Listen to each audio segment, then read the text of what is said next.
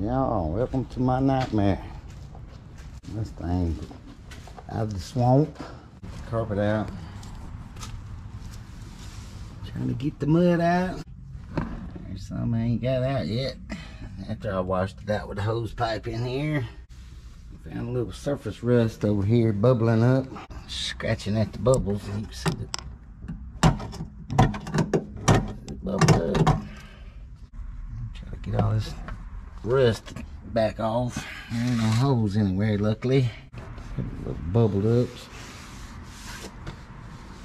I first got this car, I had to put a windshield in it.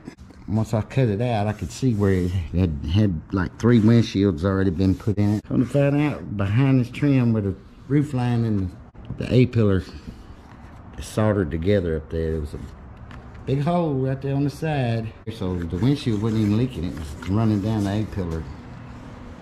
Coming inside the car, and that's probably from the factory like that. Poor old car. Battery's not hooked up, I could turn the headlights on. This car's only got 75,000 miles. Well,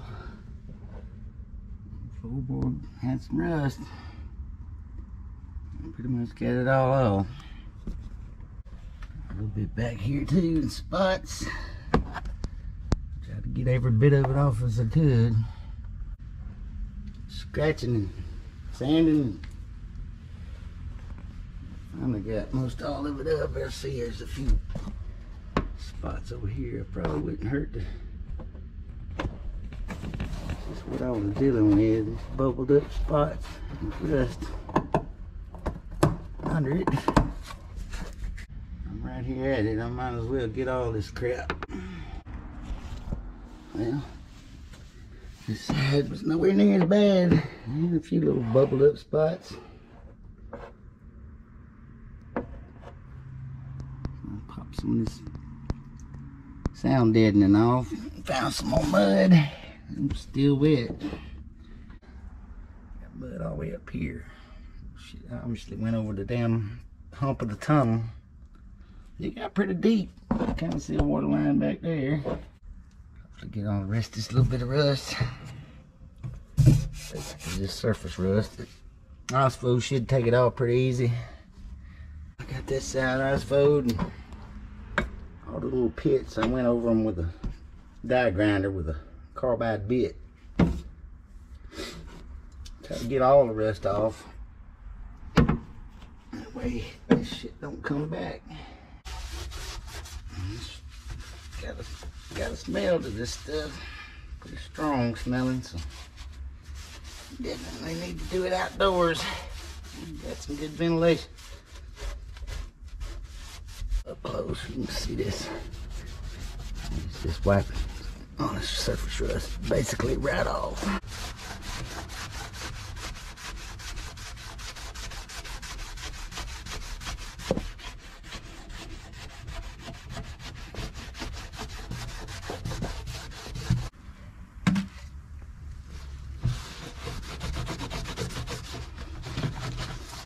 Conditioning the metal all at the same time.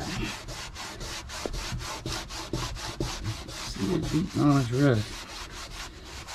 It takes that off.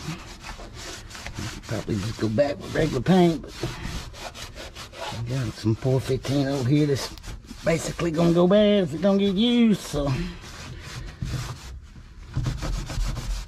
it's probably just enough left in the can to knock this out. Hopefully.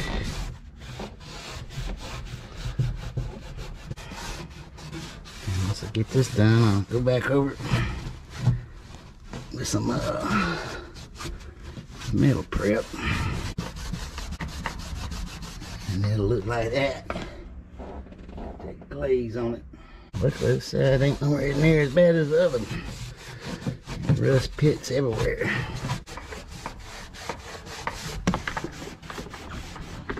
worst looking spot right here on this side. Let's see the other side. In three days to get all the bubbles popped and cleaned.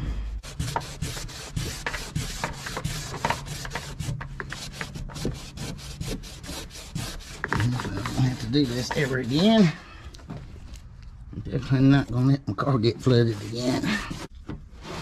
Has been one long, tedious process.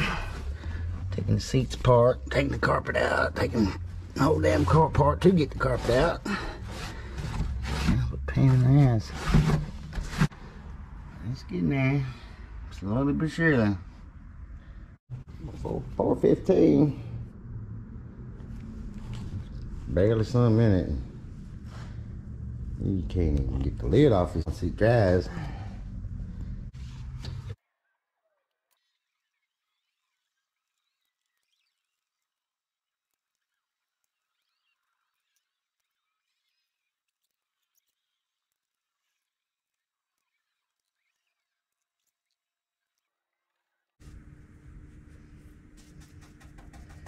Whew. It seems rough.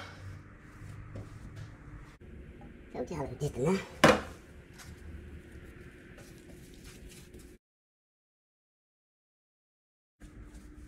Yeah, my brush is getting dummy. Down on me.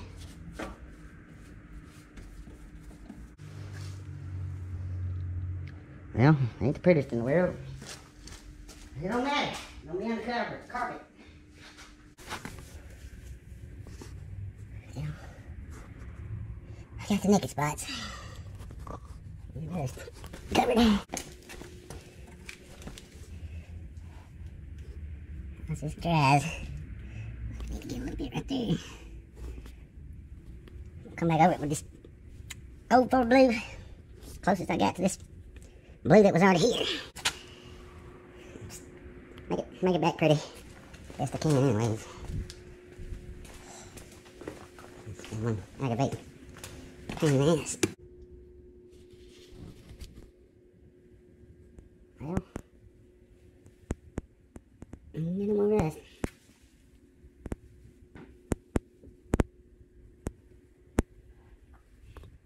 Let this thing here out. Start putting, putting it back together.